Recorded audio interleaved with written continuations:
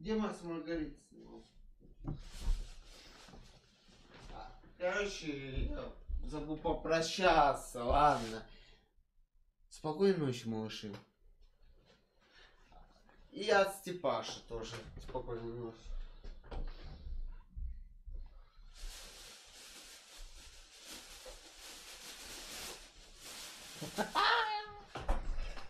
Все забрал, блядь. Да. Смотри, сука, блядь.